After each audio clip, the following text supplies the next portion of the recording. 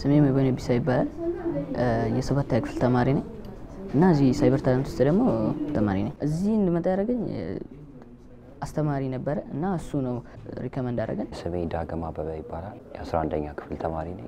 እኔ እዚህ ከመምጣቴ በፊት የሰማሁት በ science and technology museum በነበረው ቦታ ላይ ነው። ከዛ በኋላ እዚህ interview ተደርጎልኝ ምናምን የገባ ነው። ስሜ ለሁሉም ቁምላቸው ይባላል። አስራ ሁለተኛ ክፍል ተማሪ ነኝ። መጀመሪያ እዚህ የገባሁት በ recommendation ነው። በፊት እዚህ ገብተው የነበሩ ጓደኞቼ እነሱ ናቸው recommend አድርገውኝ። ስሜ ካሳሁን ደሳለኝ ይባላል። በ information መረብ ደህንነት አስተዳደር የ cyber talent ልማት ማዕከል ኃላፊ ነኝ። ማዕከሉ ስራ ከጀመረ almost አንድ አመት ከአራት ወር አካባቢ ሆኖታል። ማዕከሉ ስራ ከጀመረ በዚህ አንድ አመት ከአራት ወር ውስጥ register ተደርገው already mentor እየተደረጉ ያሉ ከመቶ ሀያ በላይ ሰልጣኞች አሉ። ወደዚህ ማዕከል የሚመጡበት የተለያየ platform ኦች አሉን። አንደኛው portal አለን ወይም website አለን። በዛ website register ያደርጋሉ። website አችን CY challenge CY challenge dot INSA dot gov dot et እዛ ላይ የተለያዩ ዘርፎች አሉ። በነዛ ዘርፎች ውስጥ ይመዘገባሉ። ከተመዘገቡ በኋላ ሁኔታዎቻቸውን አይተን እዛ ላይ የሞሏቸውን form ኦች አይተን እንጠራቸዋለን ደውለን። ሁለተኛ ግለሰቦች ሲጠቁሙን እነዛን ሰዎች ሄደን አግኝተን ወደዚህ ማዕከል የምናመጣበት ሁለተኛ አካሄዳችን ነው፣ በ recommendation ማለት ነው። በዛም ዘርፍ ብዙ ሰዎችን አግኝተናል። ሌላ ሶስተኛ አሁን እየሰራንበት በስፋት እየሰራንበት ያለው ከትምህርት ቤቶች ጋር ባለን ግንኙነት ማለት ነው። ትምህርት ቤቶች ጋር ባለን ግንኙነት ትምህርት ቤቶች ድረስ እየሄድን በዚህ ዘርፍ ተሰጥኦ ያላቸውን ሰዎች ከመምህራኖቻቸው ጋር በመሆን አብረን እንመለመላለን። ከዛ በኋላ ወደዚህ አምጥተን የእኛን ደግሞ የ screening method እንዲያልፉ እናደርጋለን ማለት ነው።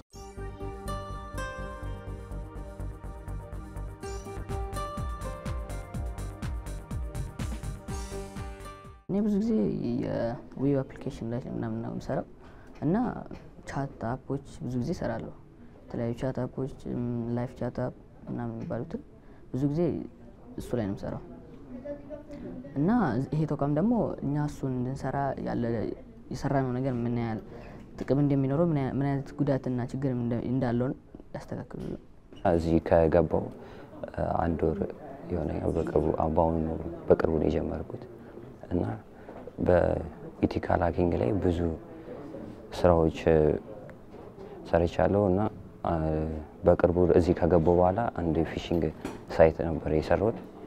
ከጉግል YouTube ቪዲዮዎችን እና የተለያዩ መጽሐፎችን እያነበብኩ ራሴን በማስተማር እና ራሴን በማሻሻል ነው እና እዚህ የደረስኩት። እዚህ የምንሰራው የተለያዩ የመንግስት website ኦች እና የፋይናንስ ተቋማትን ላይ የተለያዩ ክፍተቶችን በመፈለግ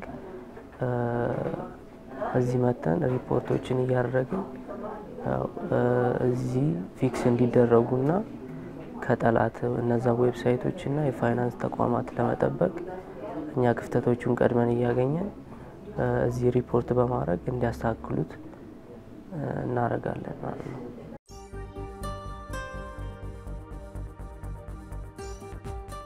እኔ የምጠቀመው programming Python እና በ Django framework ነው ብዙ ጊዜ የምሰራው። web application ኦች በአብዛኛዎቹ እሰራለሁ እና web application እሰራለሁ፣ computer application ኦችንም እሰራለሁ። ለምሳሌ የ video chat app፣ normal social media ከሱም ከነሱም ደግሞ ለየት የሚል live chat app የተለያዩ የ room ምናምን ያለው ማለት ነው።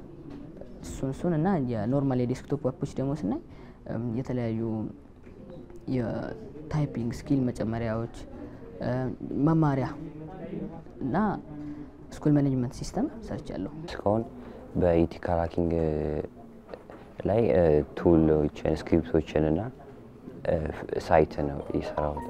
ጥቅሙ የሰራናቸው እንዲህ በ normal programmer ኦች የሚሰሩት አይነት ሳይሆን ሶሻል ኢንጂነሪንግ የሚባልን ኮንሰፕት ተጠቅሞ የሰውን ክሬዲት ካርድ፣ ሶሻል ሚዲያ፣ የተለያዩ ኢንፎርሜሽኖችን ስቶር በማድረግ ሰዎትን የሚያስቡትን የሚያስቡት የትክክለኛ ሳይት ላይ ነው የገባ ነው ነው ግን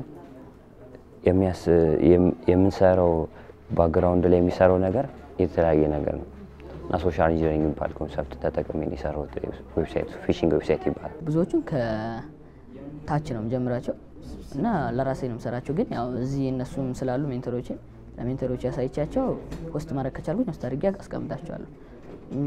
በእርግጥ በእኛ አካባቢ ለ school management system ኡና እና library management system ሰርቼ ሰጥቻቸዋለሁ ለእነሱ ማለት ነው እና ተጠቃሚ አግኝተዋል። እስካሁን ድረስ ከተሰሩ ስራዎች ውስጥ በርካቶቹን በፓተንት ደረጃ ጨርሰው ማለት ነው በአእምሯዊ ንብረት ፓተንት አስጨርሰው ወደ ገበያ mass production አልጀመሩም እንጂ በብዛት ማምረት አልጀመሩም እንጂ ወደ ለ customer ለተጠቃሚ የቀረቡ ፕሮጀክቶች አሉ። ለምሳሌ የመኪና ስርቆት መከላከያ system መኪኖች ላይ ተሞክሮ ማለት ነው ሌሎች መኪኖች ላይ ተሞክሮ functional መሆኑ የተረጋገጠለትና አገልግሎት እየሰጠ ያለ የመኪና ስርቆት መከላከያ system አለ።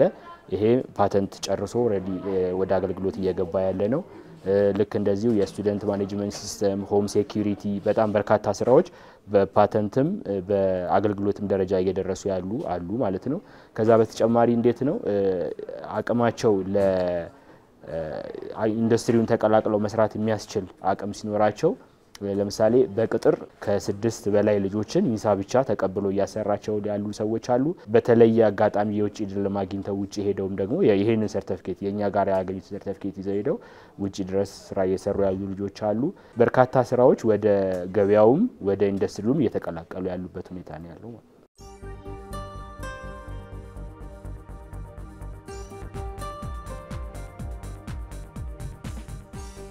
እዚህ ከመጣሁ በኋላ ከሌሎች ተማሪዎች ጋር ከ senior ኦች ጋር ከእኔ በሙያ ዘርፉ ላይ ሙሉ ስራቸውን ለ- ከሆኑ ሰዎች ጋር እውቀት share ማድረግ ችለናል። ከ social media ላይ ምናምን ካገኘናቸው እውቀቶች በላይ እዚህ የምናገኛቸው ይበልጣሉ። ከተማሪዎች ጋር መስራት ነው። በጣም ብዙ ነገር እዚህ በ mentorship በጣም ይደግፉናል።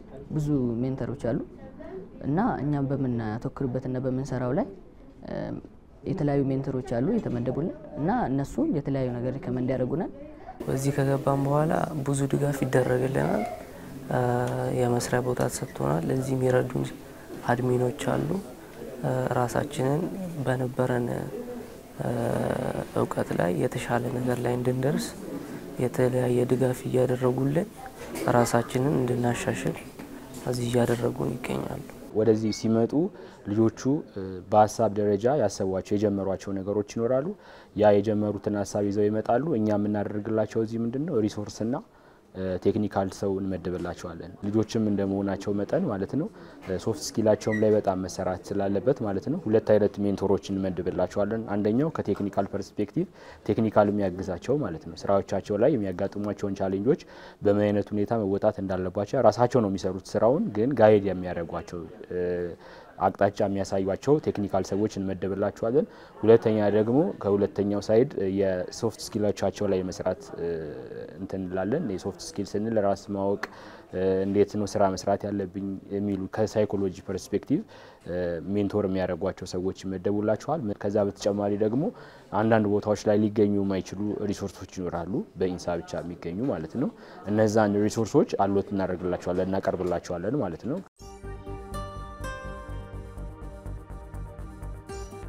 ኢትዮጵያ ውስጥ ብዙ talent ያላቸው ተማሪዎች አሉ እና ወደዚህ cyber talented ማዕከል ቢመጡ talent ኣቸውን በበለጠ በደንብ አድርጎ መስራት ይችላሉ። አንዱ ትልቁ ነገር በአሁኑ ሰዓት ላይ የሳይበር ምህዳሩ ድንበር የለሽ ነው። ማንም የፈለገበት ቦታ ድረስ መሄድ የሚችልበት አቅሙ እስካለ ድረስ ማለት ነው የትም ቦታ መሄድ የሚችልበት እንትን ያለው እና ይህንን የ cyber security ባለሙያ ደግሞ ይህንን protect ለማድረግም እንትን ለማለትም በሚቻልበት ጊዜ የብቁ የሆነ የ cyber security ባለሙያ ለማፍራት የምንሄድበት አካሄድም የለንም። እንደ ባለሙያም ደግሞ በጣም ከፍተኛ የባለሙያ እጥረት አለን። ይሄ ማዕከል አንድም የተቋቋመበት ዓላማ ይህንን የ cyber security ባለሙያዎችን እጥረት gap ለመሙላት ስለሆነ ማለት ነው። እነዚህ ልጆች ግን ባሉበት ሁኔታ በእንዲህ አይነት ሁኔታ አብቅተን ባለሙያ ማድረግ የምንችልበት ሁኔታ ምን ያግዘናል? የሀገራችንን የ cyber security ሉዓላዊነት በዚህ ዘርፍ ያለውን ሉዓላዊነታችንን ማረጋገጥ የምንችልበትን ትልቅ ስራ የምንሰራበትና እስካሁንም እየሰራንበት ያለ- ያለበት ነው። በጣም በርካታ ልጆች የተለያዩ የተቋማትን የሴኩሪቲ ሁኔታ ክፍተቶች እየለዩ እያወጡ ችግሮቻቸውን እያሳወቁ እነዛ ነገሮች ደግሞ እንዲደፈኑ በጣም ትልቅ ጥረት እያደረግን ያለበትን ነውናና ያለብንን የሳይበር ሴኩሪቲ ባለሙያ እጥረት በከፍተኛ ሁኔታ እንትን ያሻሽልልናል ብለን ነው የምናስበው።